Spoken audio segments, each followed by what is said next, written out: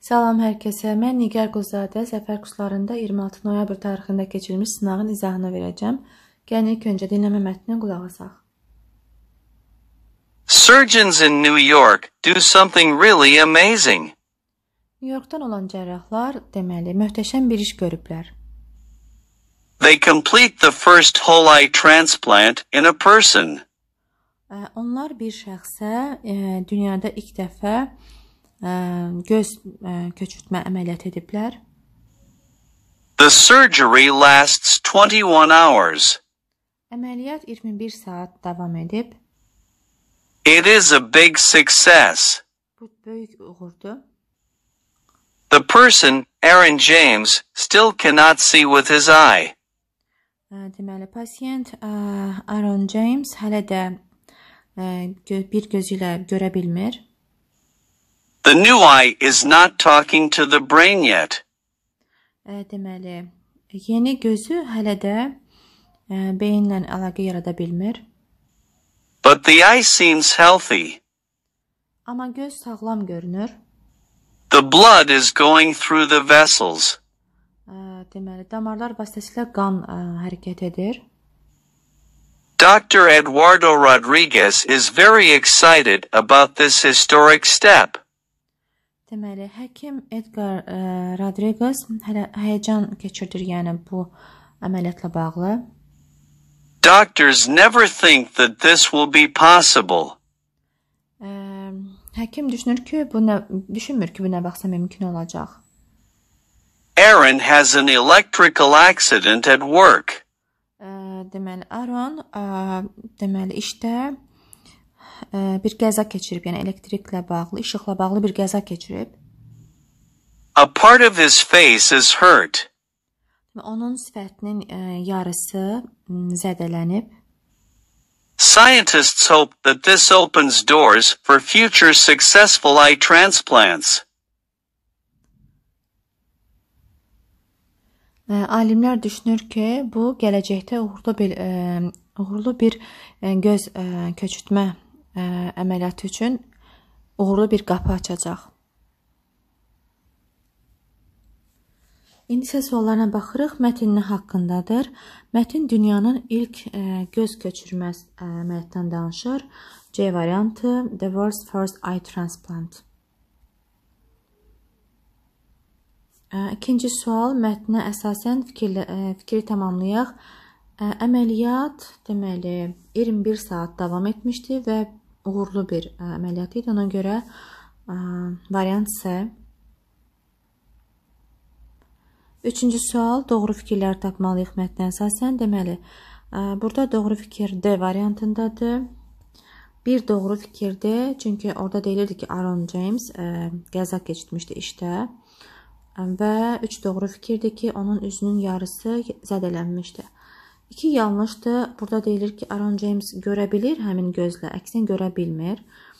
Burada isə deyilir ki, Aaron James bir neçə əməliyyat keçirib, yox, bir əməliyyat keçirib, bir neçə yox. Dördüncü sual, suala cavab verməliyik. Where does Aaron James have an electrical accident? Harda keçirmişdi bu qəzanı? İşdə, at work.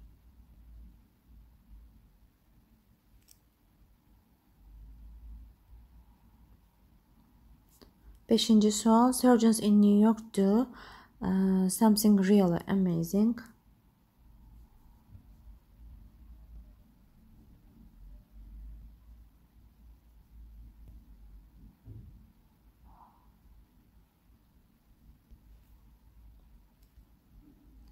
Altıncı sual. Eye transplant sözünə sifət yazacağıq. Successful.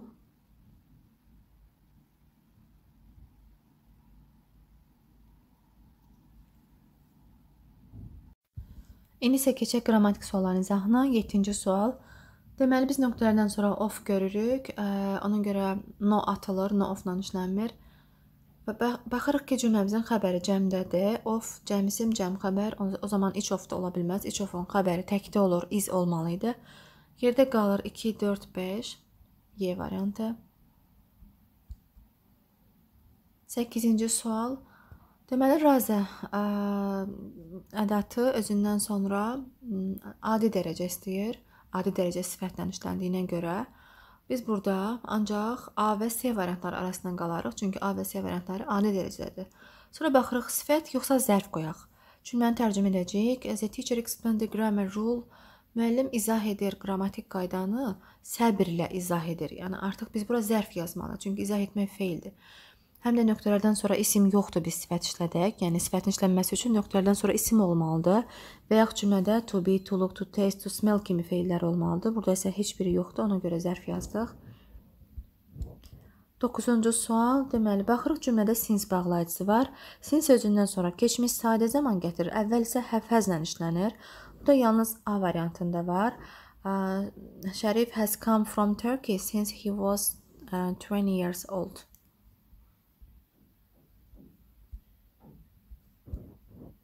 10-cu sual, deməli zən bağlayıcısı görürük. Zənlə ancaq müqayisə dərəcəsi işləndiyinə görə A variantı atılır. Hardly heç vaxt dərəcələrə görə dəyişmir. Yəni more mostla işlənə bilməz heç vaxt. Hard bir hecalı söz olduğuna görə D də atılır. More hard ola bilməz. Harder yazmalıydıq bura. Qalır B və C variantları. Cavab C-dir. Hardly dediyimiz kimi heç vaxt dərəcələrlə işlənmir. Yəni müqayisə və üstünlük dərəcəsində işlənə bilməz deyə Variant qalırsa 11-ci sual zamanlar mövzusuna bir sualdır. Deməli 11-ci e, sualda if bağlayıcısı görürük. If-dən sonra biz bilirik ki, sadə zaman gəlməlidir. Gələcək zaman işlənə bilməz. Və sonra baxırıq zamanı uzlaşdırmalıyıq. Yəni indiki zaman ya gələcəklə uzlaşır, ya indiki ilə. Keçmiş zaman isə keçmiş zamanla uzlaşır.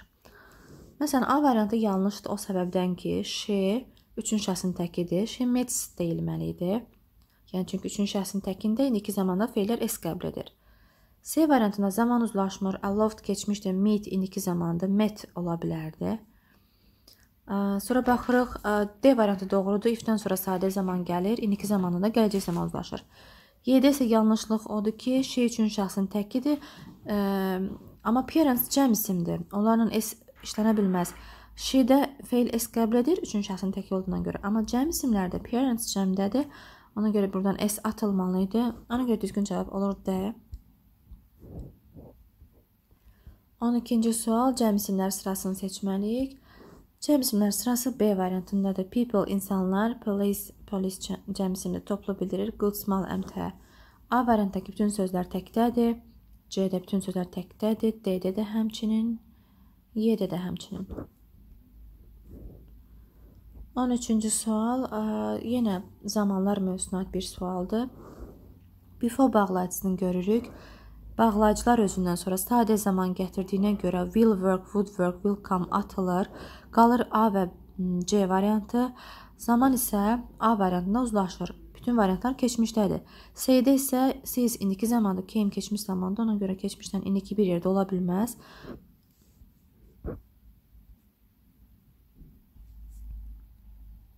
14-cü sual. Deməli biz burada and bağlayıcısı görürük. And bağlayıcısı varsa cümlədə daha çox hərəkət bir-birinin ardınca baş verir deyənə, yəni ardıcıllıq bildirir. Ona görə adətən keçmiş sadə zamanda işlənir bütün feillər. Məsələn, o otağa daxil oldu. Yəni cəld otağa daxil oldu və çoxlu suallar soruşdu. Yəni birinci daxil olub sonra başlayıb suallar soruşmağa. Yəni hərəkət bir-birinin ardınca baş verib.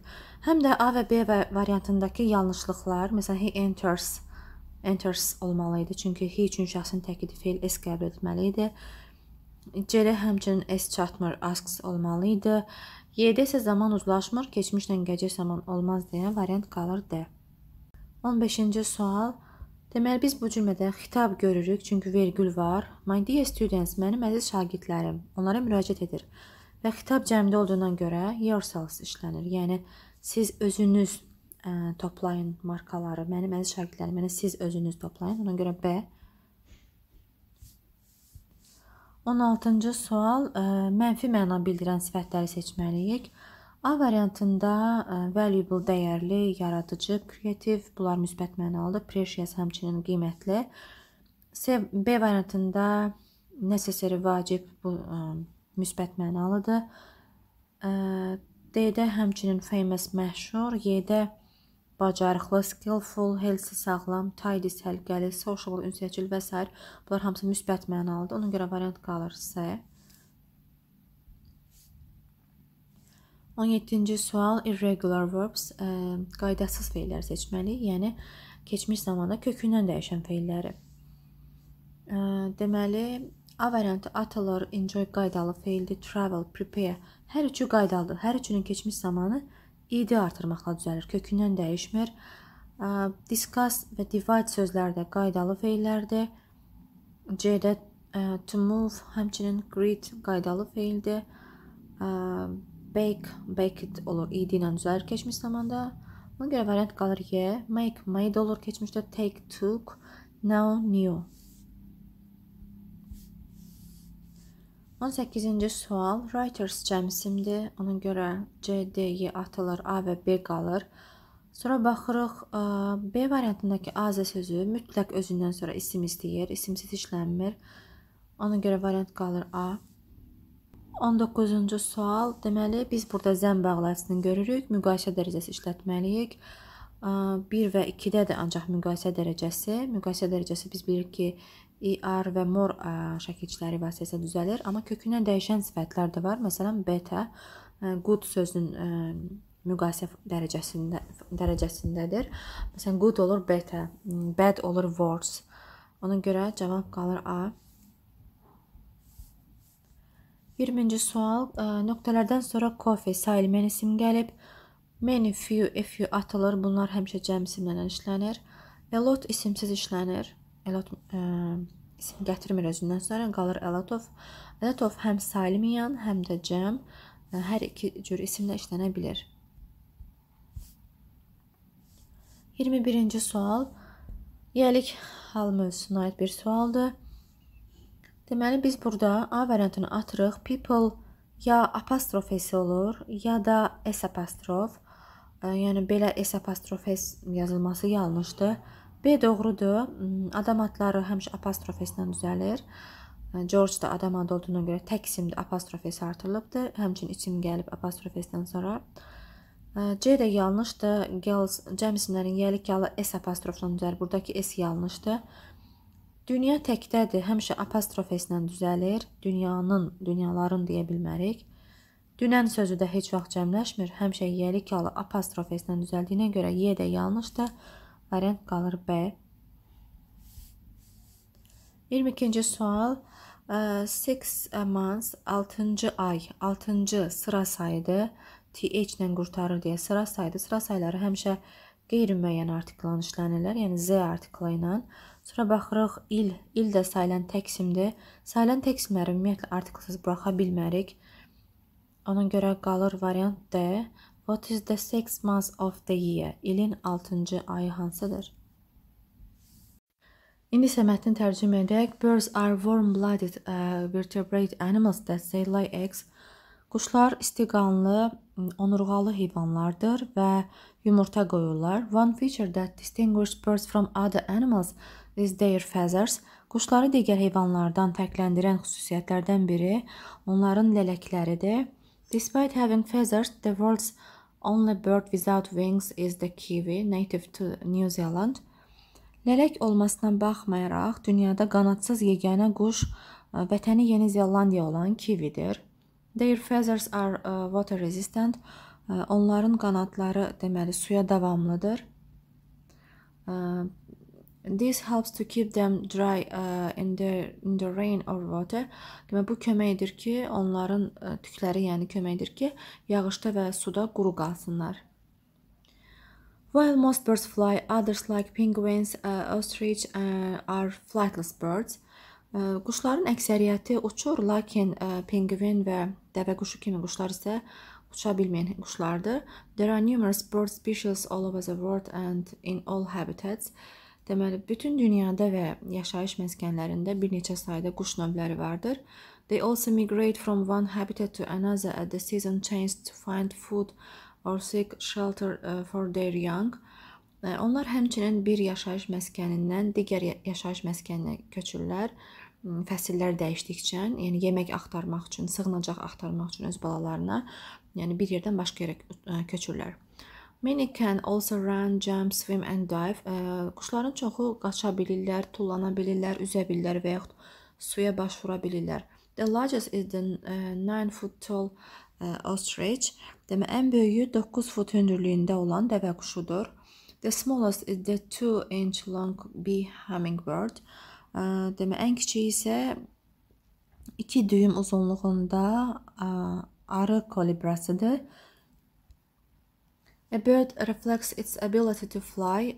Demək quş uçmaq qabiliyyətini əks etdirir. The wings or for example are shaped to create lift. Qanadlar məsələn ə, qaldırmaq ə, üçün yəni formalaşmışdır.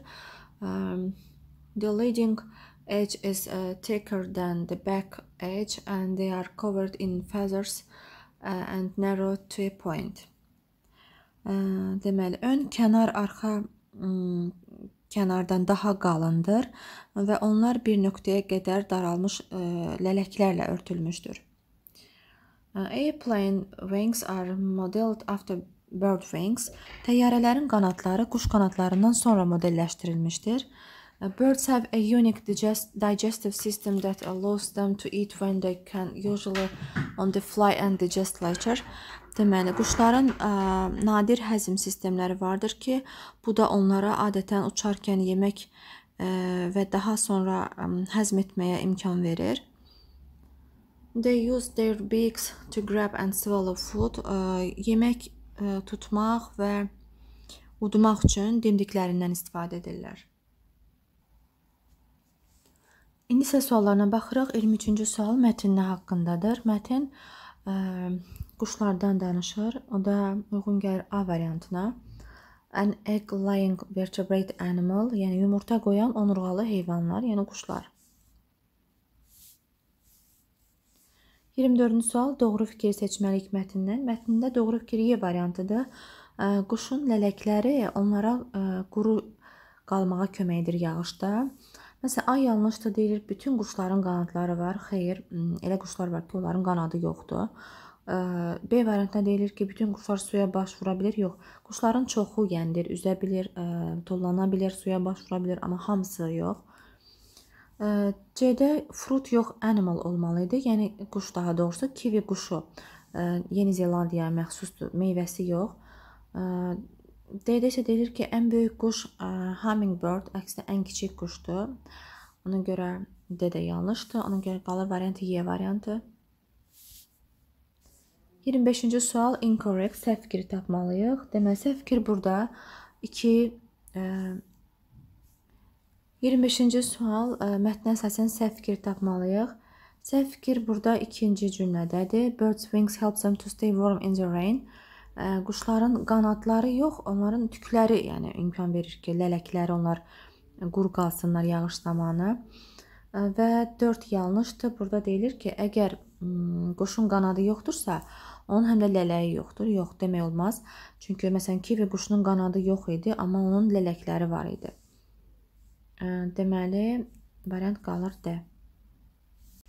26-cı sual mətndə nədən söhbət getmir? Y variantı the length of the wings ə, yəni qana quşun qanadlarının uzunluğundan söhbət getmir mətndə. 27-ci sual wet sözünün antonimi wet nəm yaş deməkdir. Antonimi qurudur. Dry.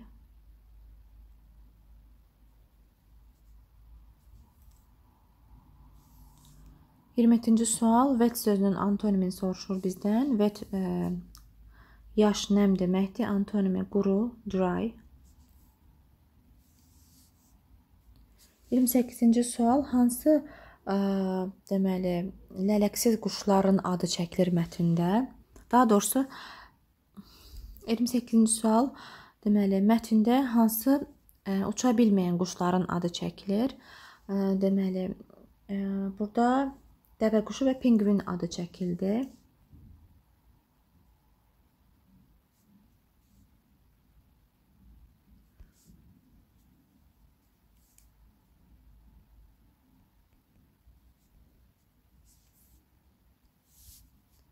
İyirmi doqquzuncu sual cümləni tamamlayırıq mətnə əsasən.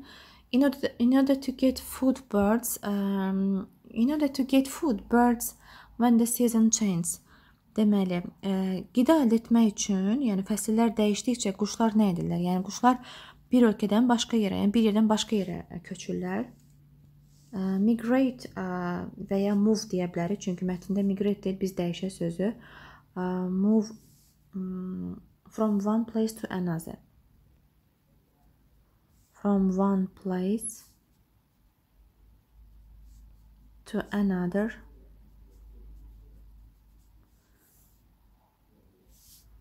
Otuzuncu sual, deməli, paragraf 2-dən aşağıdakı cümlənin definitionunu tapmalıyıq.